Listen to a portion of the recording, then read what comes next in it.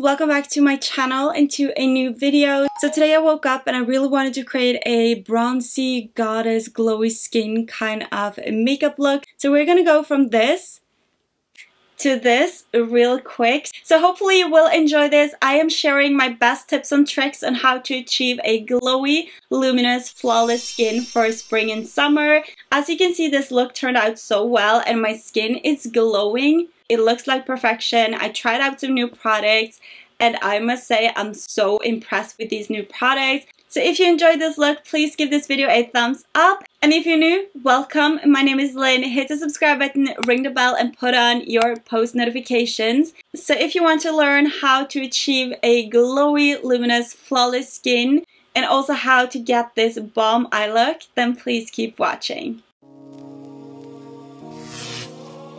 So to start off, I'm going to use the Sensai Glowing Base, which is a primer. So here you can see the bottle. It looks very high-end. So this is the glowing base with an SPF 5, which is supposed to give you a silky, glowy skin. And it will also even out the skin. So I'm excited to try it out Hopefully it is a good one. I haven't tested it out before. So I have moisturized my skin with the Glam Glow Water Burst Hydrating Moisturizer today and that also gives me a little bit glow so hopefully it shows up in the camera. So I really enjoy that moisturizer for days that I'm using makeup just because it is so lightweighted and it dries down very fast. You can just go ahead and apply your makeup. You don't have to wait for like 15 minutes. So as always, I'm gonna apply my two favorite foundations. I'm gonna mix these two. So I'm gonna take one pump of the Too Faced Born This Way in Natural Beige. And then I'm going to take two pumps of my Armani Luminous Silk in 3.5. And I'm going to apply that with a brush. This is a Real Technique sculpting brush. So this brush makes applying foundation a dream. I'm just dabbing it into my skin. And as you can see, I have self-tan. So I'm just going to match up my skin with my neck. So I really love how the foundation sets throughout the day and it just makes my skin looks so luminous and so glowy. So far, I must say that the makeup base is making this even look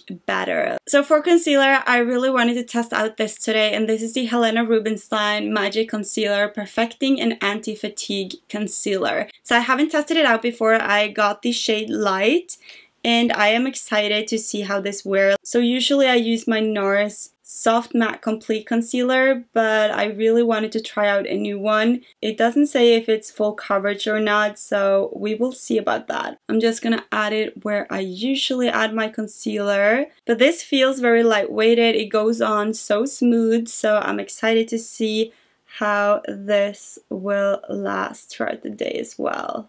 And then I'm to take the same brush that I used to apply my foundation and this will also help with the blending so everything will look more smooth just because you will have some leftover product from your foundation as well. So this feels so lightweighted, you can barely like feel that you have anything on. And I feel like it actually covers a lot. So I will do monthly favorites videos now. So if I really enjoy this concealer it will definitely be in a favorites video. And then I'm just taking the same brush as I applied my concealer. And this is a Real Technique shading brush. So I really like to apply my concealers with a eyeshadow brush just because I feel like it is easier to get the product exactly where you want it but OMG, I really, really enjoy this concealer. So I will go ahead and apply my brows off camera just to save us some time and then I will be right back.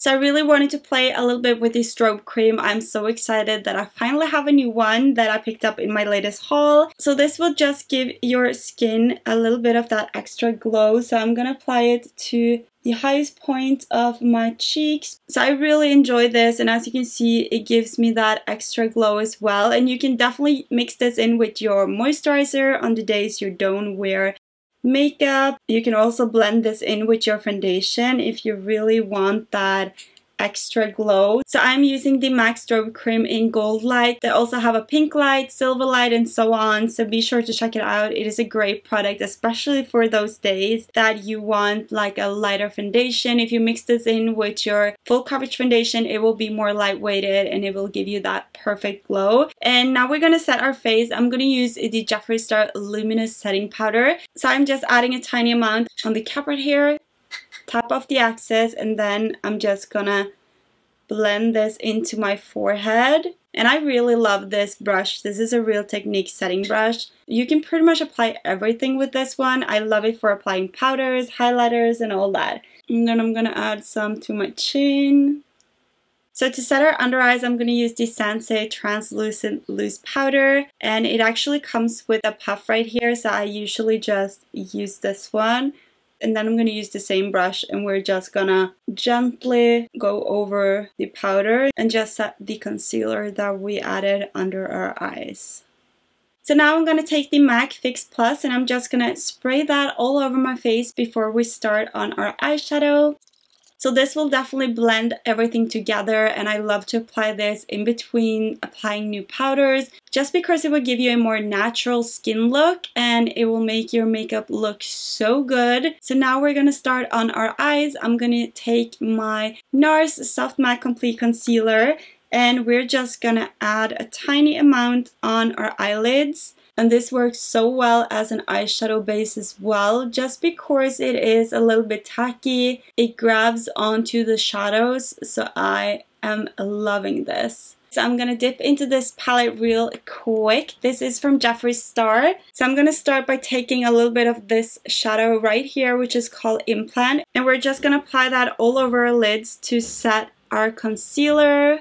So the brush that I'm using is a Jessup 239 brush. So these brushes are like MAC dupes. They pretty much have the same numbers and they work so well. If you want to check them out, I will definitely link them down below. I'm to take this shadow right here, which is called Safe Sex, and also a little bit of Gender Fluid, and I'm to just mix these two together, and then we're to apply that into our crease.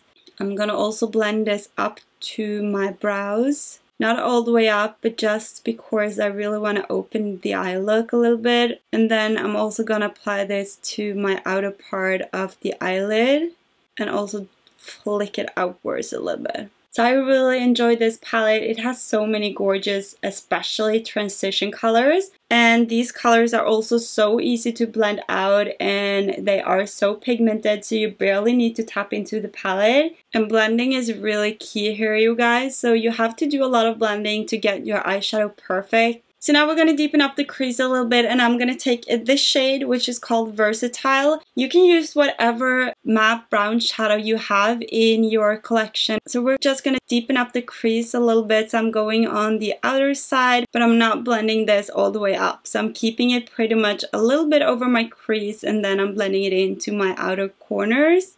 I'm also here blending, blending, blending. And then I'm going to take this deeper shade which is called Invitation Only. And this has a more red undertone so it will warm up the look a little bit. And we're just going to go over all the places that we applied the other shades. So outer corners and also a little bit into the crease. But this I'm not blending all the way into the inner corners. I'm keeping the darkest shade in my outer part of the lid. So now we're going to use the Anastasia Beverly Hills Carli Bybel palette. So I'm going to take a small angled brush. This is for Makeup Mekka, the number 235. And I'm going to pick up a little bit of this shade, which is called Bougie, to create like a liner. I'm also going to flick it up a little bit so we kind of creates like a winged liner right here. And the trick that I do is that I keep my eyes open when I'm stamping on the shadow. And I'm also going to drag this a little bit out. So now I'm going to take this gold sparkly shade which is called Moo. I'm going to apply it to my finger and then we will apply it onto our lids. And as you can see, this is pretty pigmented and it looks stunning. And by applying it with your finger, you will actually warm up the shadow a little bit so it will look more intense than applying it with a brush.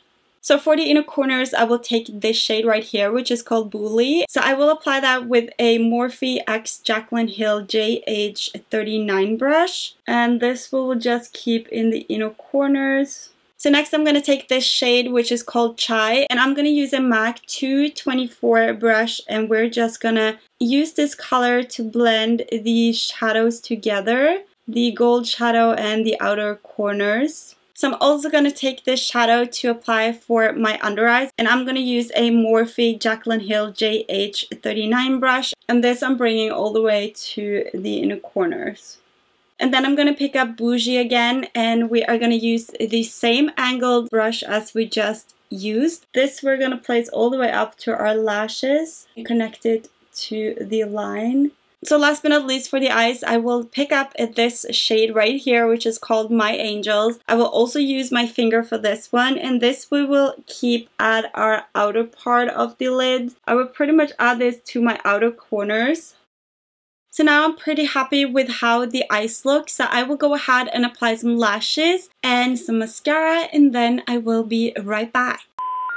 The lashes that I'm using today are the Ardell Double Up double wispies. I just took one and cut it in half and then I applied it to the outer parts and it will also help lift the eyes a little bit because you have a bigger lash at the outer part. And for mascara I use the Benefit Roller Lash. I really enjoy this mascara. This mascara gives my lashes that volume that I want and also the length so I don't have to wear lashes while wearing this. So now I'm gonna add a little bit of MAC Eye and I will use this to tight line and also add a little bit on my lower waterline and I'm just gonna keep this on my outer part of my eye and I'm also blending this into my lash line right here to my lower lashes just like that.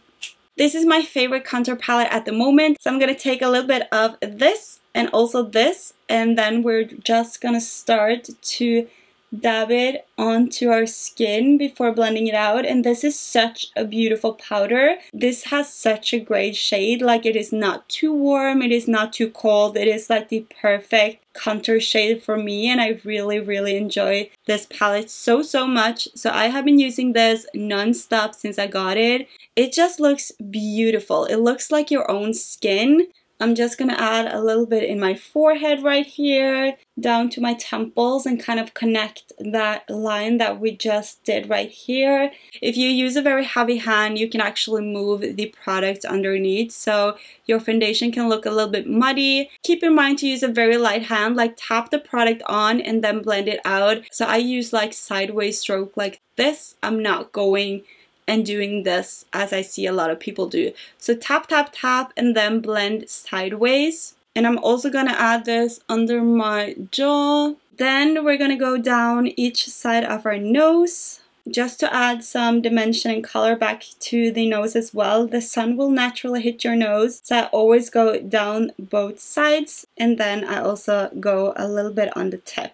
So for blush, I'm going to use my MAC Extra Dimension blush, which is one of my favorites. And this is in the shade For Sure. So I'm just going to tap a little bit over where we added our contour. This will also help lift the face. So this is a great trick if you want to lift your face, especially if you are over 30. So I like to go over where I added the contour. Where you tap it will be where you have most pigment and then I'm just blending it lightly onto the apples of my cheek with what is left on the brush and then I'm also gonna take a tiny amount into the forehead just to bring all the colors together and this also has a beautiful sheen to it as you can see so it will also help with glow and now to an exciting thing. I have been so excited to test this out. So this I got in my recent haul and this is the Dior Backstage Glow Face Palette. So I will start by using this blush right here, which is called Pink. And I'm just to apply that onto my blush brush. And I'm just to apply that on top of my blush. And now I will take this golden highlighter right here and we will place that to the highest point of our cheeks. So the brush that I'm using is the Jaclyn Hill JH09 from Morphe. And before that settle into the skin, I'm to add a little bit of Fix Plus on top. And can you see how much more the highlighter is beaming? Like, I love to use this. This is what I say, applying a little bit of Fix Plus here and there when applying powder will really help with that glow. And I'm not always sharing it in my videos, so therefore I really wanted to go in depth on how I get my glowy skin and share a little bit of makeup artist tips and tricks. So now it's time to do our lips. I'm gonna use the MAC Cosmetic Lip Liner in Boldly Bare. And then I'm going to take Dose of Color in the shade Bare With Me, which is also like a stunning nude. So I love this shade so, so much. And then I'm going to take a little bit of Anastasia Beverly Hills. With this, we will add just in the middle right there. And then I will top it off with a Jeffree Star lip gloss in the shade Control Freak, which has this beautiful light pink color. And then I'm gonna set the face with my favorite setting spray of all time, the YSL Makeup Hydrating Setting Spray.